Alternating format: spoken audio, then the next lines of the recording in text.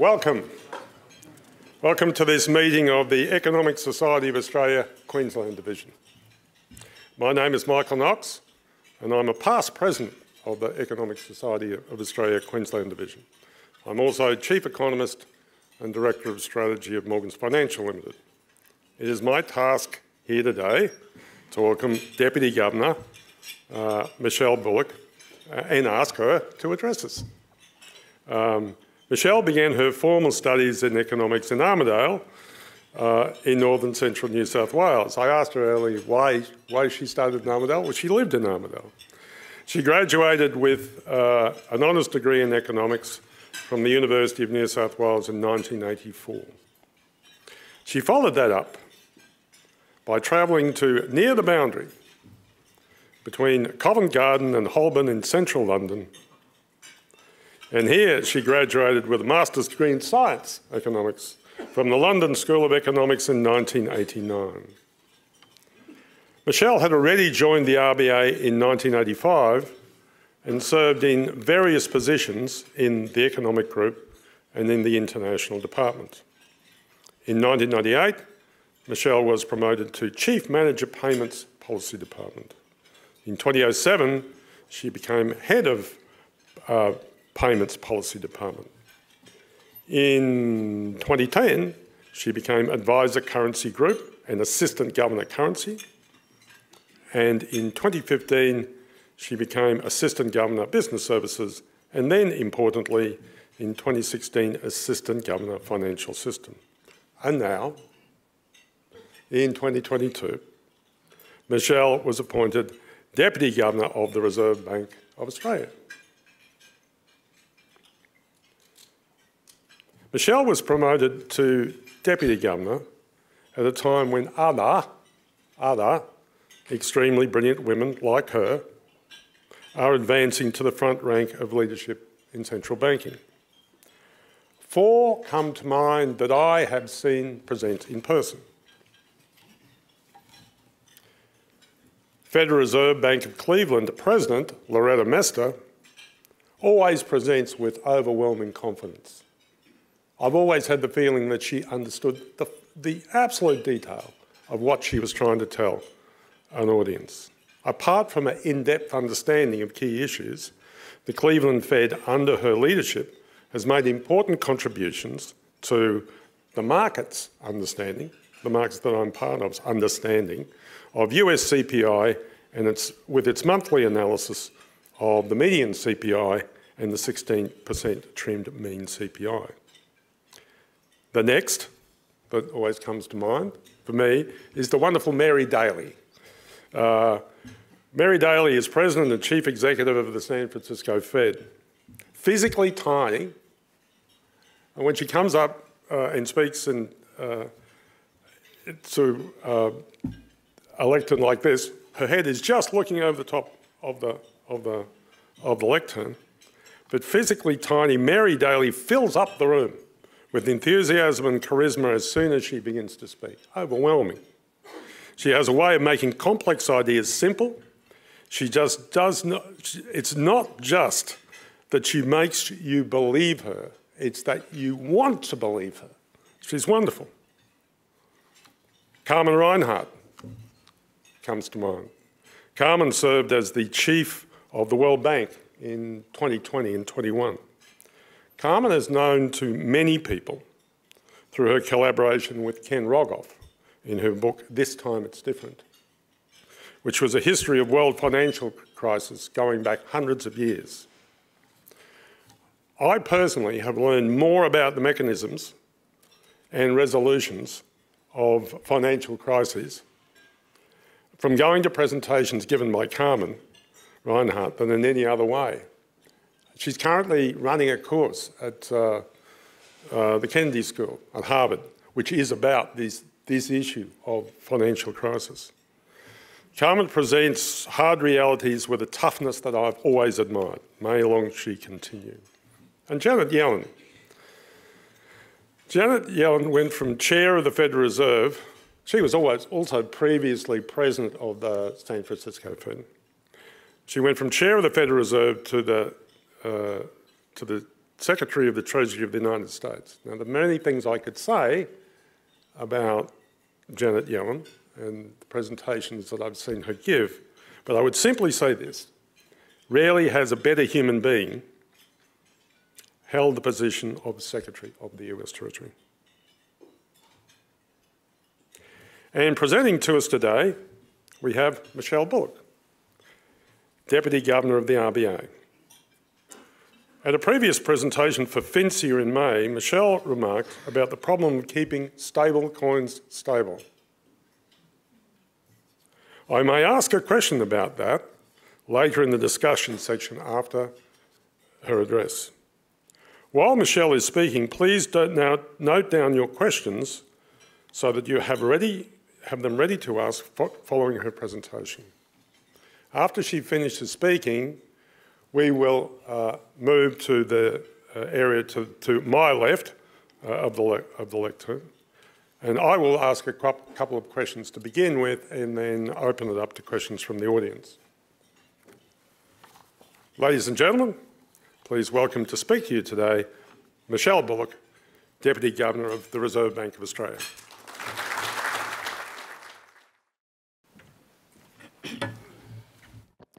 I'm not Mary Daly short, but I'm not uh, particularly tall either. Thank you, Michael, for that uh, wonderful introduction, and um, it's great to be here. Um, I'm not sure I quite live up to the stature of the ladies that you spoke about, but I'll, I'll do my very best. Um, so, um, thank you all for coming today. It's great to be in person. Um, I've done quite a few over the uh, events over the last couple of years, and they've been on uh, video, and they are very, very tough.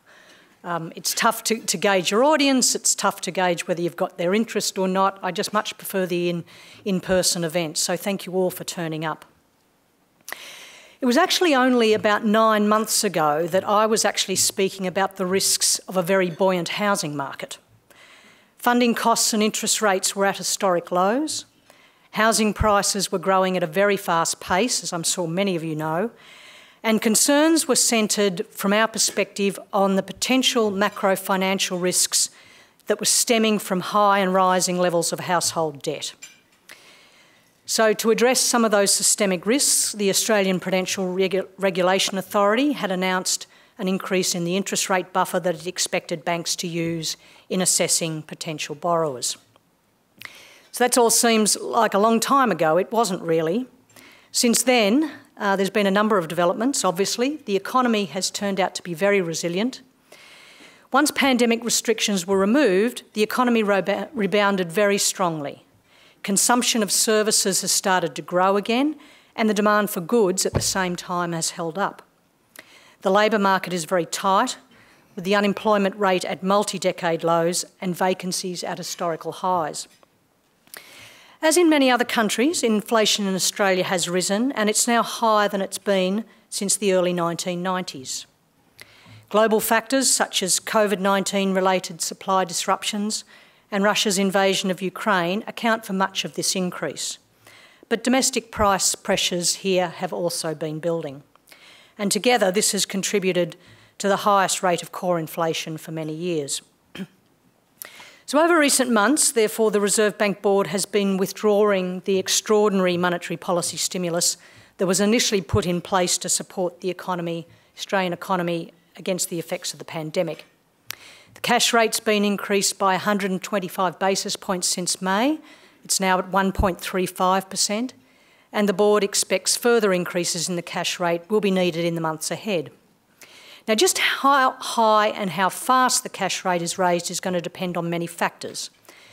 But in making this assessment, one of the areas the board will be closely observing is how households respond to the combination of rising interest rates and prices. And that's going to be uh, part of the topic of my uh, talk today. I'm going to talk about the implications of rising interest rates for the household sector. My focus is really going to be on the potential implications for financial stability. In our last couple of financial stability reviews, we've talked about the potential build-up of systemic risk as housing prices and credit grew very, very strongly through 2021. Now we're facing quite different circumstances. Interest rates are rising, housing prices and other asset prices are declining, and inflation is increasing the cost of living for everyone. The effect of these developments on households and the way they respond will have implications not only for the broader economy, but they will also highlight financial vulnerabilities that have been building in the household sector. My focus here is going to be mainly on indebted homeowners. Around about a third of all households have housing debt. Now, I'm not suggesting here that other households are unaffected by rising interest rates and inflation. Clearly, there are going to be implications for renters and for those that own their own homes outright. But indebted households pose many more direct potential risks to the financial sector, direct risks as opposed to indirect risks. And as I've discussed previously in other speeches, uh, they might also react, households might also react to interest rate rises in ways that exaggerate housing prices and consumption cycles.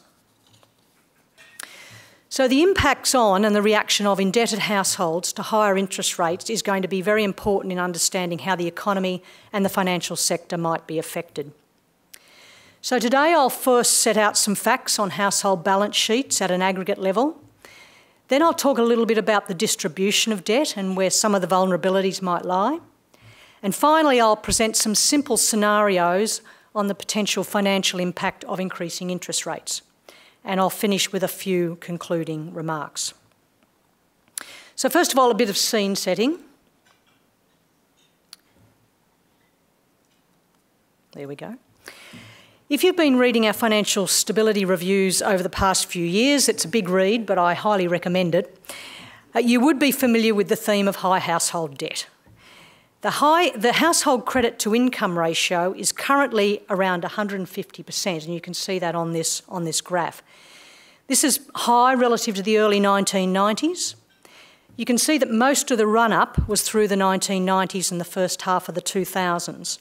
And this reflected a combination of lower inflation, financial deregulation, a decline in real interest rates, and strong income growth, all of which allowed households to service higher levels of debt. So their debt to income ratios went up. Now, since then, it's remained relatively steady at a high level, as nominal incomes have largely kept pace with the increased debt. So, this high level of debt held by households might on its own suggest that many households will face difficulties as interest rates rise. This might have implications for their ability to service the debt and the economy more broadly. However, there are a number of factors that suggest there's considerable resilience in the household sector to rising interest rates. So, the first point is that house, in aggregate, household balance sheets are actually in very good shape. So, while households have high levels of debt, this is accompanied by sizable holding of assets, as you can see in this graph. On the left, left panel, you can see that assets have risen quite substantially. Strong growth in housing prices over 2021 and early 22 has boosted asset values for many homeowners, and housing assets now comprise around half of all household assets. The small decline in housing prices in recent months, at least in uh, Victoria and New South Wales, maybe not so much in Queensland, um, that's only marginally eroded some of the very large increases seen over the past few years.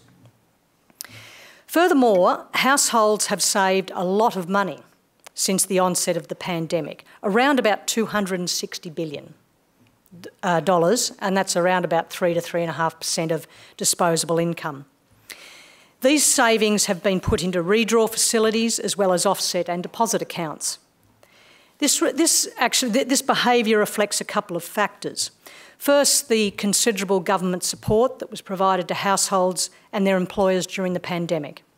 This meant that incomes held up very well, even through the pandemic. The banking system also helped households and businesses to weather the crisis by providing payment holidays and working with their customers to recommence repayments as their situation permitted and both of these factors were very good for household cash flows. At the same time, consumption opportunities were curtailed, particularly for discretionary services. You'd all know that. I couldn't get a haircut for four months. It drove me nuts. So, even though expenditure on goods has increased, households were still spending less than they were prior to the pandemic.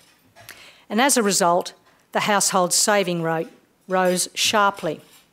And many households therefore built up very large liquidity buffers, including those households with mortgages.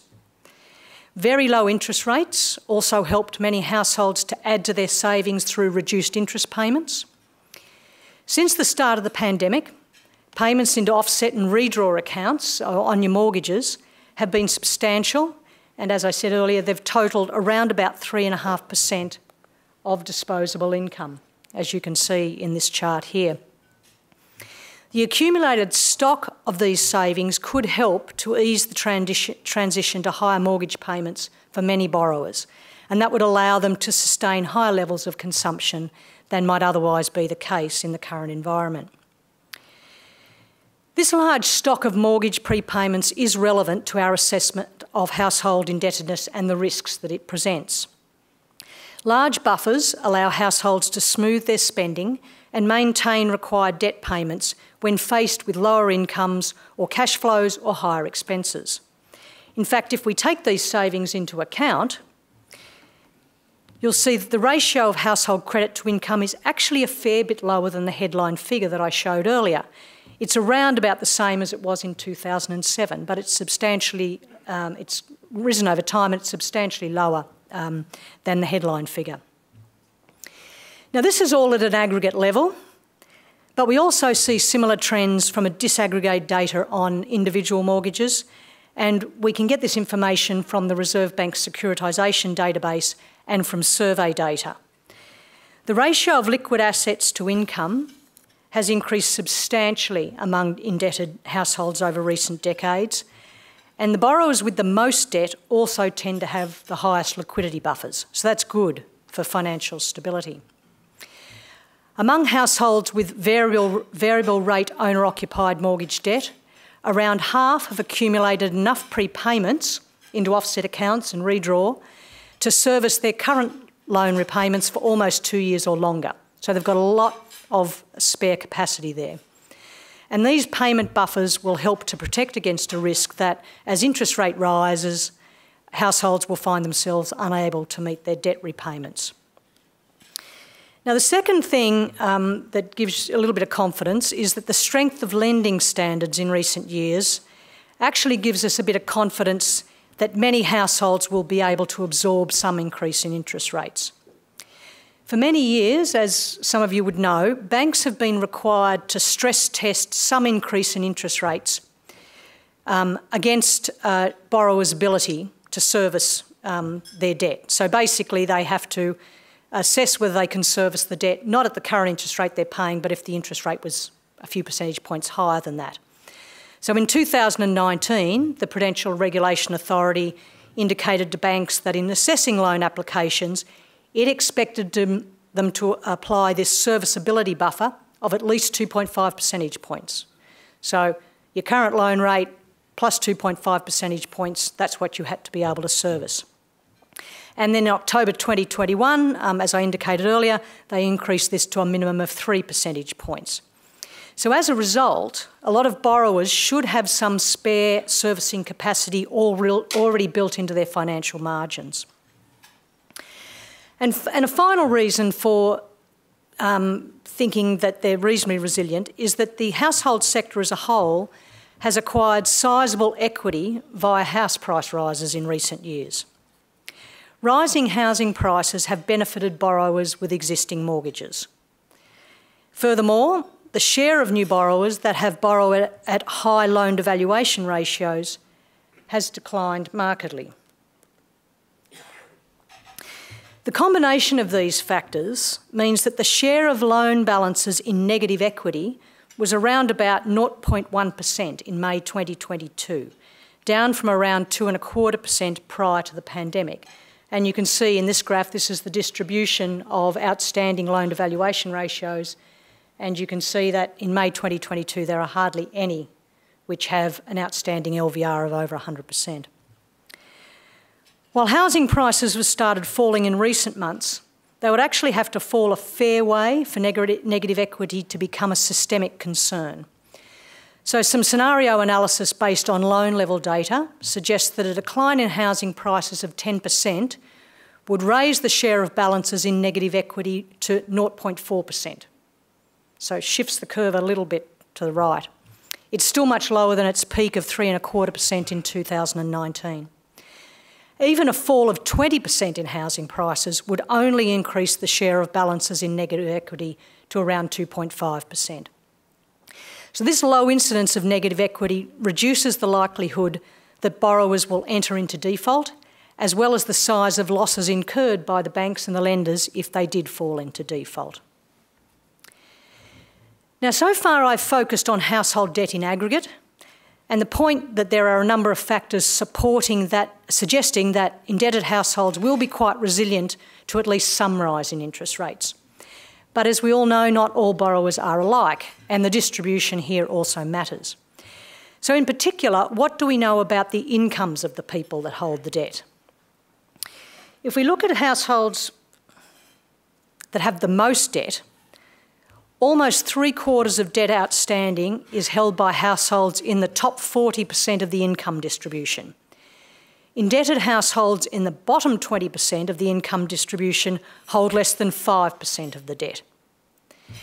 Furthermore, households with high debt to income ratios, who might be most affected by a rise in interest rates, also tend to be high income households, and you can see that on the right hand side of this graph.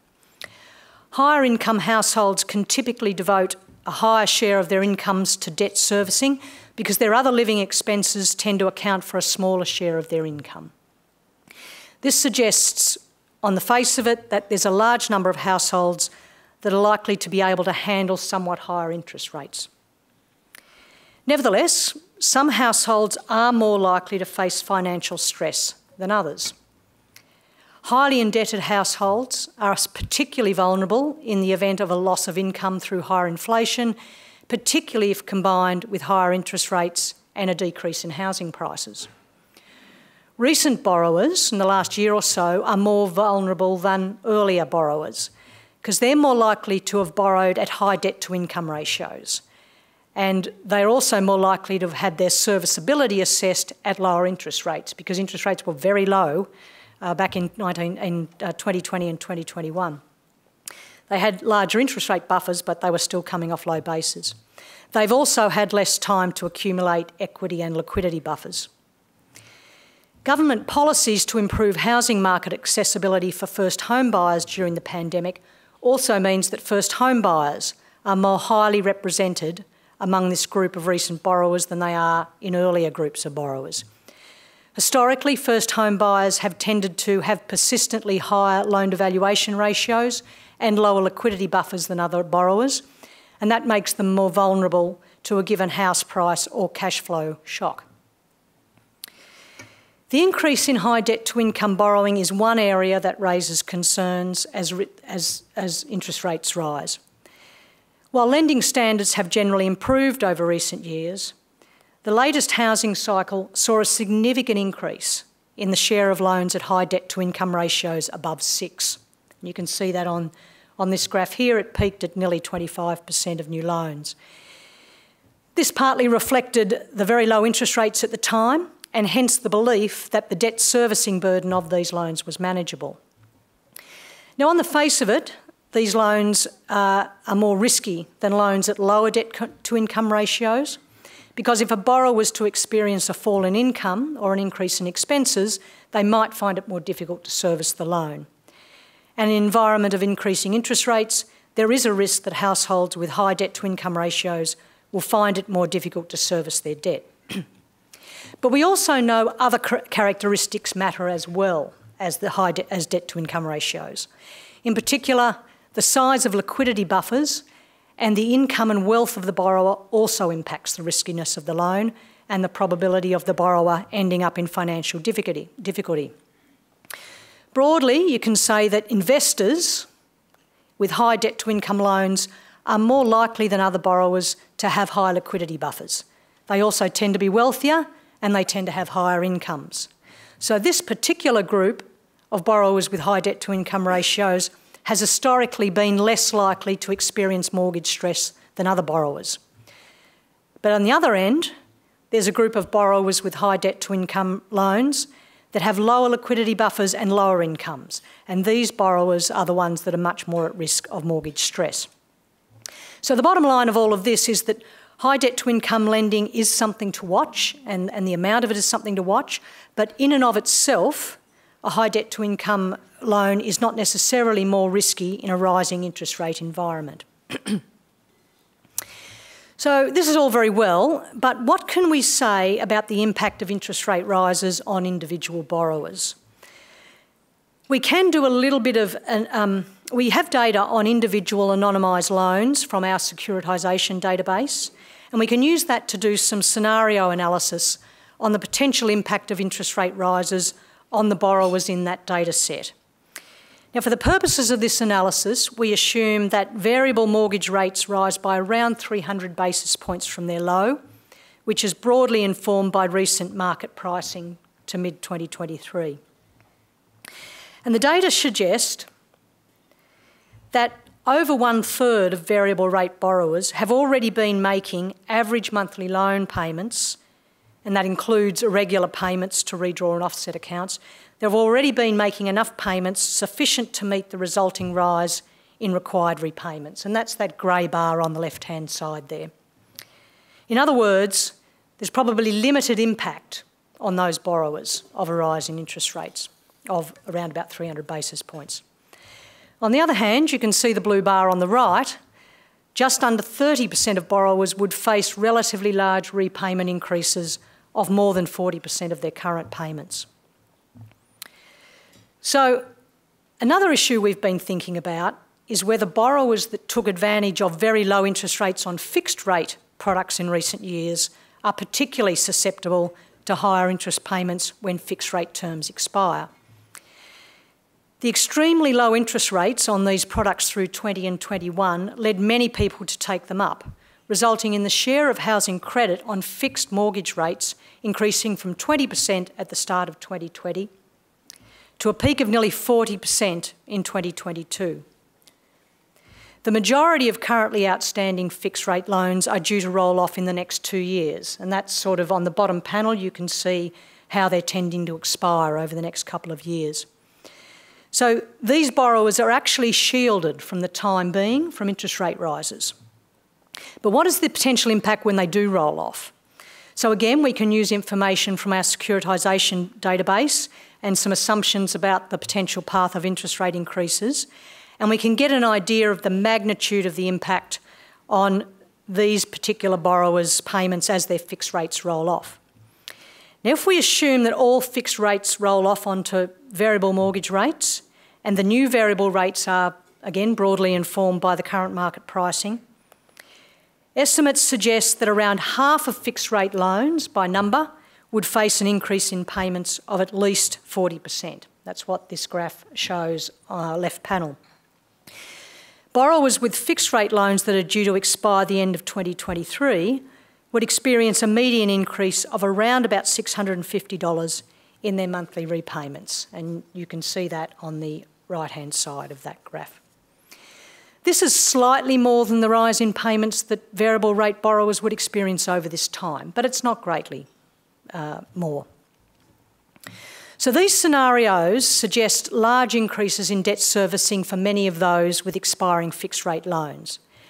But unlike borrowers who hold variable rate loans, we have very little visibility of how much saving those with fixed rate loans have been doing in recent years. You'll recall I talked about offset and redraw on the variable rate. We don't have that visibility because many of the borrowers for fixed rate have contractual restrictions on their ability to channel their savings into mortgage prepayments. But given the very low interest payments and the broad based increase in household savings rates, it is likely that many of these borrowers will have accumulated savings outside their mortgages ahead of any potential increase in repayments. Some borrowers also have split loans, so they have part variable, part fixed, and that will have allowed them to uh, accumulate buffers on the variable part of the loan. And some fixed rate loans also allow borrowers to at least have some excess repayments. So, to the extent that all of these things are the case, it's like for variable rate borrowers, likely to mitigate the rise in debt servicing requirements. Now, it's important to note that these scenarios don't take into account future economic conditions. At the moment, for example, employment is growing strongly and unemployment is at its lowest level in nearly 50 years. Having a job is the best way of ensuring you can continue to meet repayments on your loan. How much the Reserve Bank Board decides to raise rates is going to depend on developments in the economy, including how borrowers respond to higher rates, and will continue to assess where the risks might materialise in this environment. So, in the title of this speech, I posed the question How are households placed for interest rate increases? There are a number of ways to come at this question aggregate data, disaggregated data, and the last bit I did on scenarios. On balance, though, I would conclude that as a whole, households are in a fairly good position. The sector as a whole has large liquidity buffers, most households have substantial equity in their housing assets, and lending standards in recent years have been more prudent and have built in large buffers for interest rate increases. Much of the debt is held by high income households that have the ability to service their debt, and many borrowers are already making repayments well above what is required. And furthermore, those on very low fixed rate loans have some time to prepare themselves for higher interest rates. So, while in aggregate it seems unlikely there will be a substantial financial stability risks arising from the household sector, risks are a little elevated. Some households will find interest rate rises impacting their debt servicing burden and cash flow. While the current strong growth in employment means people will have jobs to service their mortgages, the way the risks play out will be influenced by the future path of employment growth. And this, along with the board's assessment of the outlook for inflation, will be important considerations in deciding the size and timing of further interest rate increases. So thank you very much, and I look forward to your questions.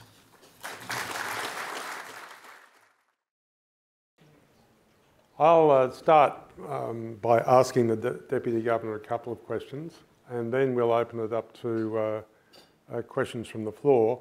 There will be a couple of uh, roving mics moving around, um, so that uh, uh, please signal for that roving mic, and then um, um it will come to you, you can stand up and ask your question. So, but first I get my go. So, um, so um, Michelle, at the American Economics Association annual convention uh, this year, which was virtual, you know, for the second year, next year it won't be virtual, um, Raghu Rajan, who uh, was previously um, uh, chief economist of the IMF, who forecast the financial crisis, and then he became uh, governor of the Reserve Bank of India, uh, he um, talked about stable coins, and uh, you previously uh, spoke at, about stable coins at the, at the presentation. Uh, and he said that they behaved, they were, they were like 19th uh, century American banks, uh, unlicensed banks, unregulated banks, and that he forecast back in January that we would see runs on these stable coins. And, and indeed, just like he forecast the financial crisis, he correctly forecast that. Um, and um, uh, so, uh, in your in your presentation of FinCEAR, you said that these stable coins aren't big enough yet to have caused to cause a financial crisis. But I, that what that says to me is that as they get bigger, they'll have to be regulated like banks. So my really my question is, when when do you think stablecoins will get big enough that they'll have to be regulated like banks. so I won't forecast specifically when that would happen, but I might make a couple of comments on um, what, what I think is going to happen with stablecoins. So um, for those of you who are not familiar with the crypto universe, I'm sure the younger people in the audience are, but um, we have um, crypto, cryptos like crypto assets, I won't call them coins because they're not money, um, like Bitcoin um, and the value fluctuates very broadly. Stable coins were, are supposed to have a stable link to um, something of value. It might be gold, it's most typically US dollars, there's a lot of US dollar stable coins. And the idea is that if you deposit uh, your money into that stable coin, you will get one US dollar in, you'll get one US dollar out, and it's supposed to work like that. That's in the sense in which it, it, sounds like a deposit. It also sounds a little bit like a money market, uh, some sort of stable money market fund. Um, so uh, as we saw, they, are prone, they can be prone to runs. If people lose confidence and don't think that they're going to get their money back, it's every, every man and woman for, him, for themselves. Everyone wants their money out. They're not so big at the moment that um, they, they certainly caused harm to people. People have lost a lot of money. So there, there is still concerns um, on a consumer protection perspective, but in terms of financial stability, not so much yet. And, and the main reason for that is that they're not big and they don't have substantial links yet to the standard financial system. Um, but the regulators are onto this, and um, it's already been decreed in the United States that stable coins will have, to, uh, will have to be issued by banks. They will not be able to be issued by others. Um, so people will have to be licensed to issue them. And uh, organisations like the Financial Stability Board, um, the Basel Committee on Banking Supervision, um, the BIS Committee on Payment and Market Infrastructures, they are all looking at how you might regulate stablecoins as they get bigger because they start to look more like deposits. Um, so I can't tell you when they'll be big enough to have that, but I can tell you now the regulatory machinery is moving and I fully expect that in the next couple of years you will start to see regulatory regimes for stablecoins. Um, so uh, usually um, from, from uh, your predecessors have always told me that about this point they anticipate that I'm going to ask the interest rate question. Yes. But I'm not. I'm not. uh, since everybody else asks about interest rates, I'm going to ask about quantitative tightening instead. Mm-hmm. So there's event studies uh, being done both by the Federal Reserve and I think there's some Australian work too, uh, but certainly US work, uh, which uh, estimates that the effect of quantitative tightening is uh, pretty small. It's only like 20, you know, a quarter of 1%.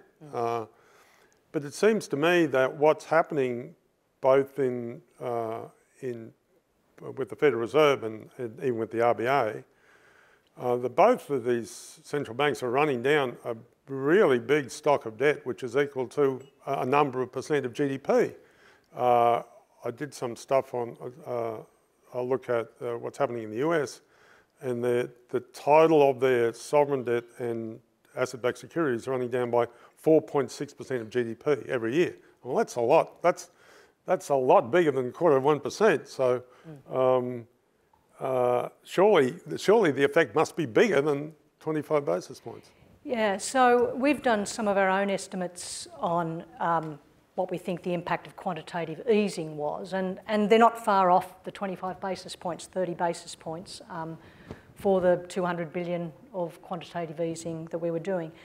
Recall though, and, and I don't think we have any reason to believe that it would be any uh, different on the way up. Recall though that when we were doing quantitative easing, we had no room to move on the interest rate. It was at the effective lower bound.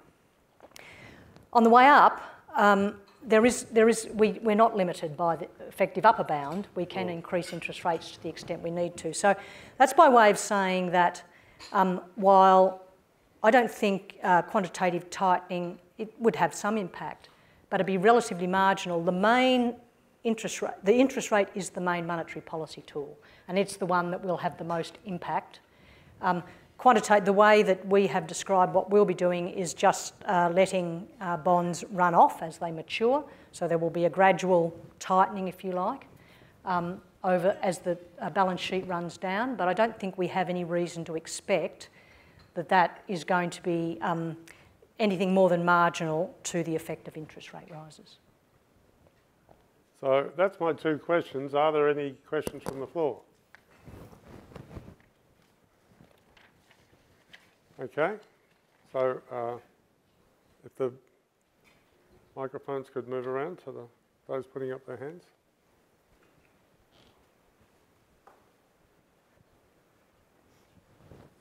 Thanks for your uh, time this afternoon, Ms. I have two questions. Firstly, we're entering a phase of monetary policy tightening, it seems clear. Do you see wages rising over the near term? And if so, how helpful do you think that will be in cushioning the impact of the anticipated tightening? Referencing your point, though, that much debt's in high income household. Um, so I think um, we are observing that, that uh, wages are starting to rise a little more quickly. For those of you who study the Reserve Bank, you might recall that prior to the pandemic, um, the governor had expressed the view that if we were to have inflation permanently uh, and convincingly within the target band, it required wage rises to be a bit more uh, than they currently were. They were running at about two and a half, two and a quarter percent, and um, I think uh, the, the, rough rule of thumb is if uh, if we've got productivity of around about one percent, um, then and wages should be able to rise by around about two and uh, three and a half percent, and inflation should be around about in the band. So. At the moment, I think we are seeing some rise in, in wages, um, and that's not unexpected because we have a very tight labour market. And, and that's what happens when um, demand for labour um, is uh, outstripping supply of labour, and we're starting to see some rise in interest rates. Um, and um, so I expect that we will be seeing some of that. Oh.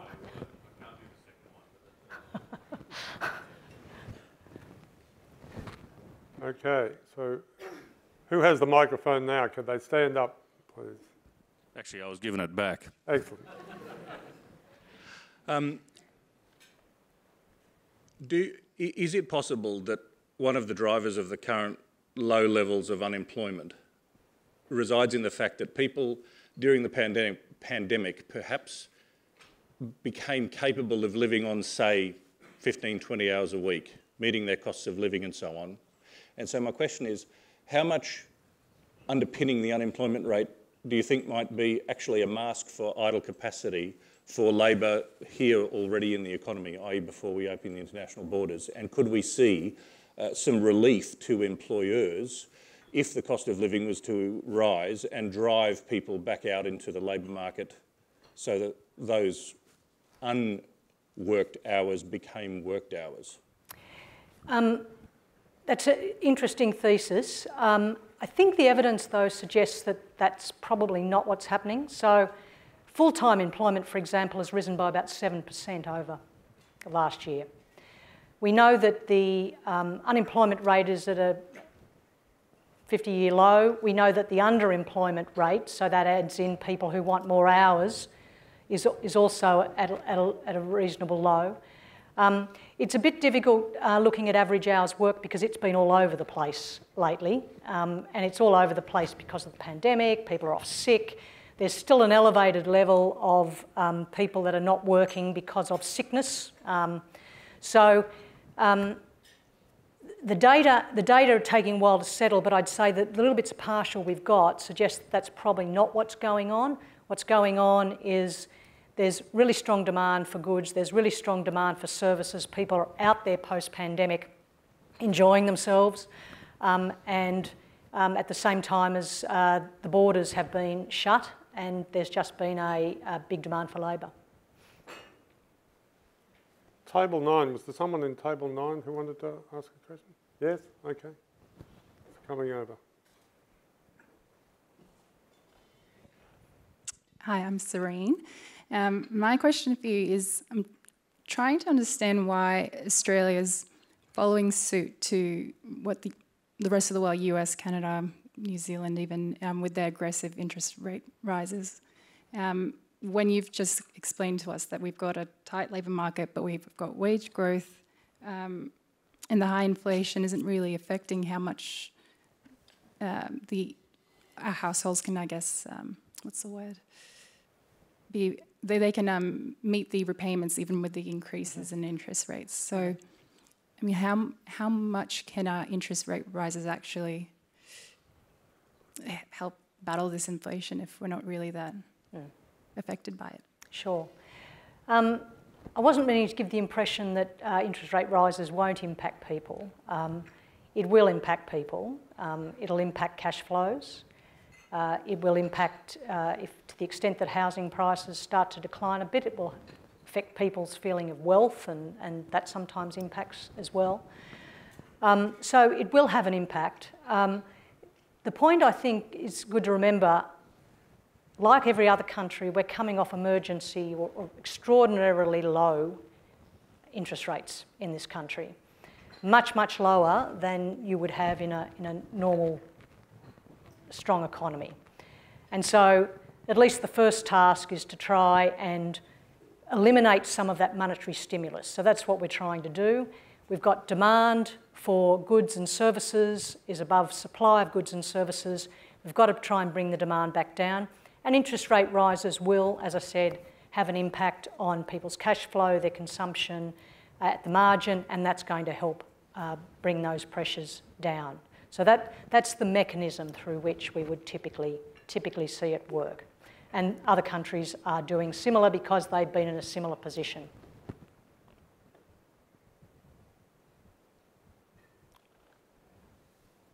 Any other questions? Oh. Hey, Michelle, thanks for your time and the presentation. It was very enlightening. I'm a young guy, so I haven't seen much history, and so it's nice to um, get your opinion on things. It might be a simple and silly question, but is there a part of the RBA that wants to increase rates enough to give us a buffer? Because there's whispers, obviously, of a downturn and recession. What? How much buffer do you want to prepare for something like that?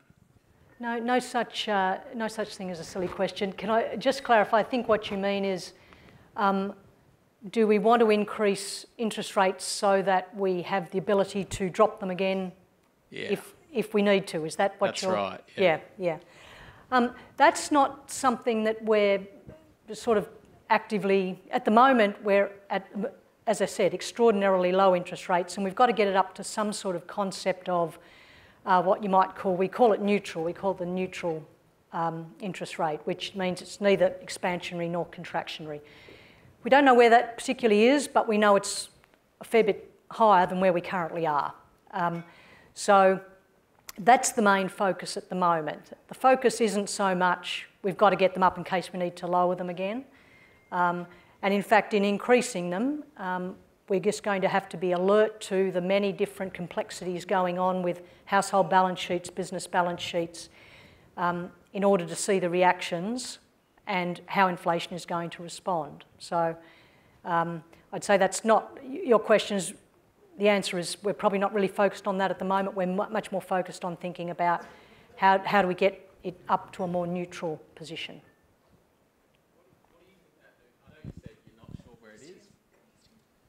Sorry, I know you said you're not sure exactly where it is, but what do you, what do you think the neutral state should be? Well, it's, um, this, is the, this is the vexed question, and um, many countries have done a lot of work uh, on trying to understand what this might be.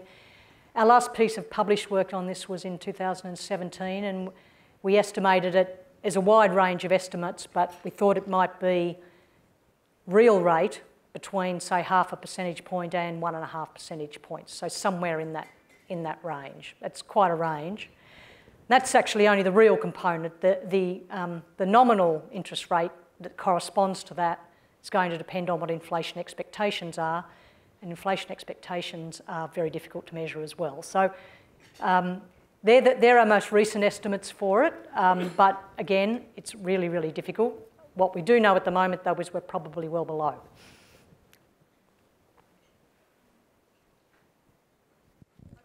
Over there.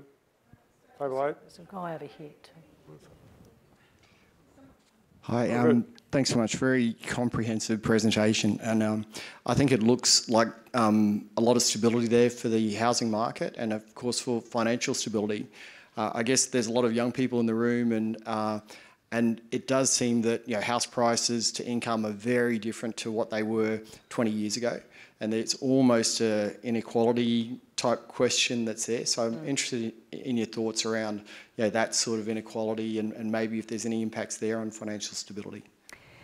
Not so much. It, it, look, it, it's, a, it's a very valid question, and I know it gets asked a lot. It, it's not in relation to financial stability so much. I think it is very much a, a quality, inequality issue. Um, one thing that happened during the pandemic, of course, was that uh, first home buyers, in fact, did come into the market quite a lot. Um, I think um, it's, not it's not within the remit of the bank, but um, a lot of the things that need to be looked at in terms of um, housing market, housing prices, relate to issues of supply as well as demand. And there's not, not much we can do about supply. Um, interest rates impact demand, but um, there's a whole plethora of things that, that impact supply, including government policies, planning, infrastructure, all these sorts of things. Um, And um, I think that is something that um, possibly taxation, all these things are things that I think need to be thought about holistically. Um, if, as a society, um, we think that um, there are issues here for uh, first home buyers.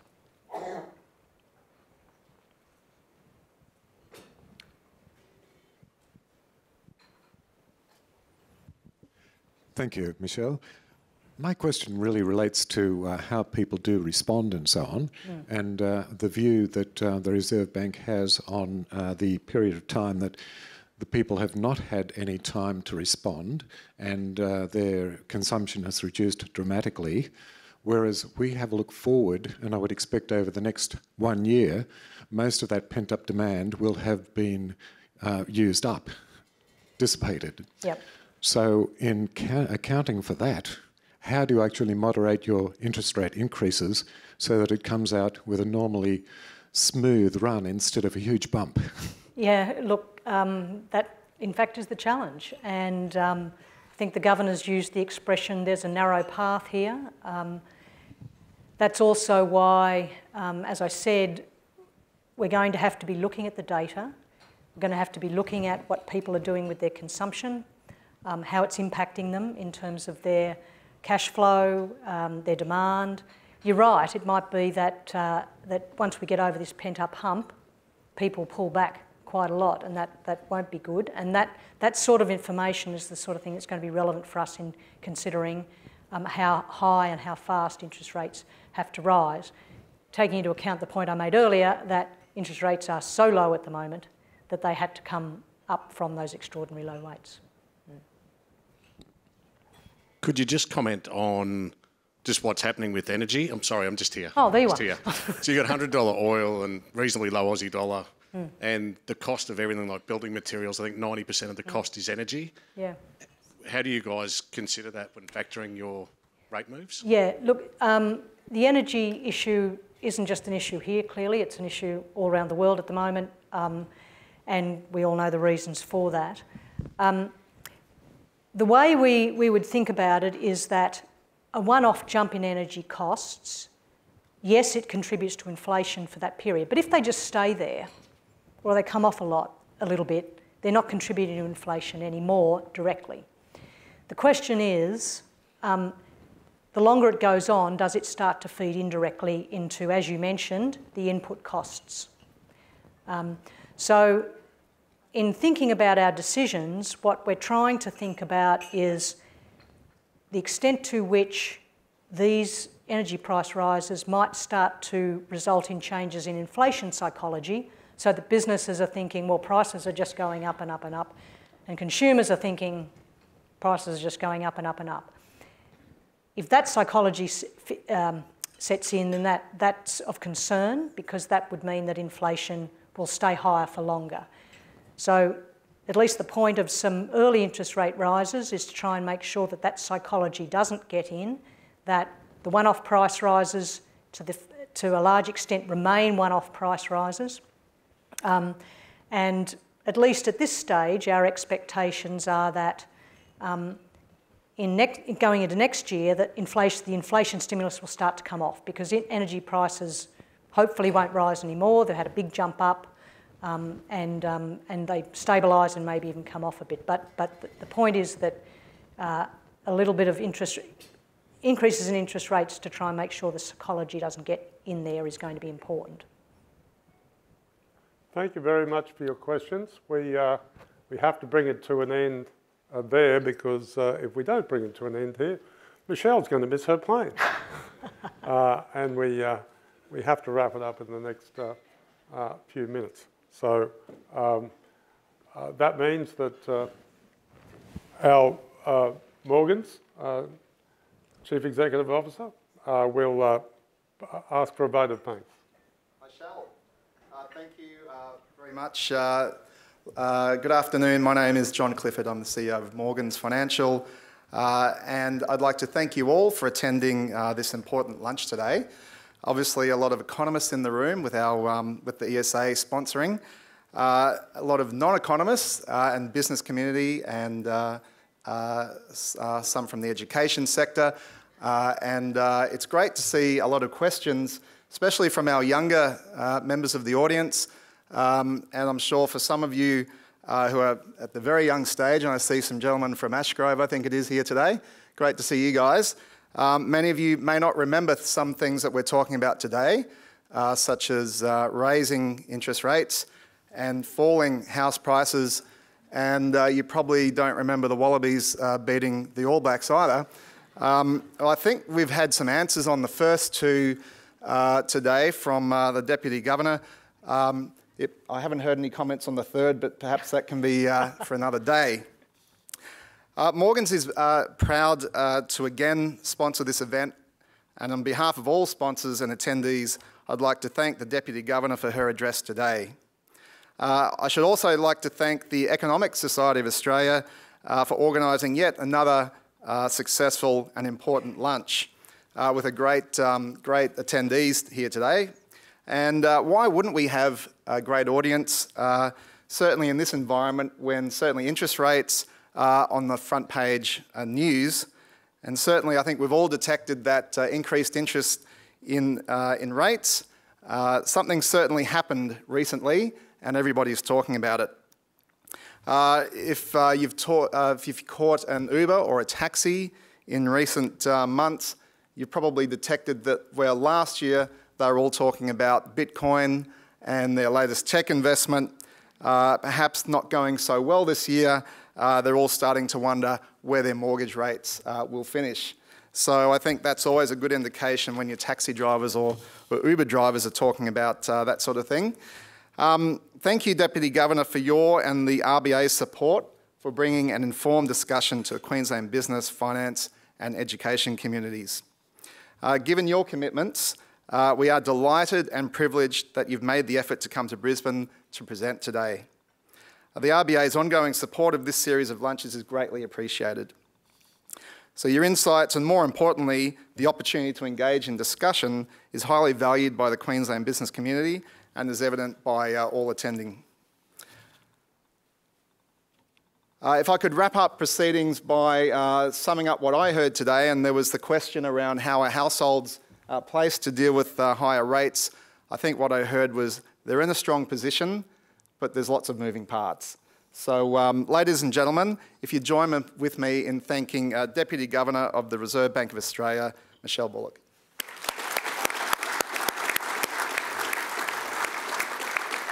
Thank you again. Good, great. Thank you, everybody. And thanks, John. Thanks, Morgan, a lot. Thanks, Michael. And of course, Michelle, for coming today. I just wanted to wrap up um, with a slide about our next event.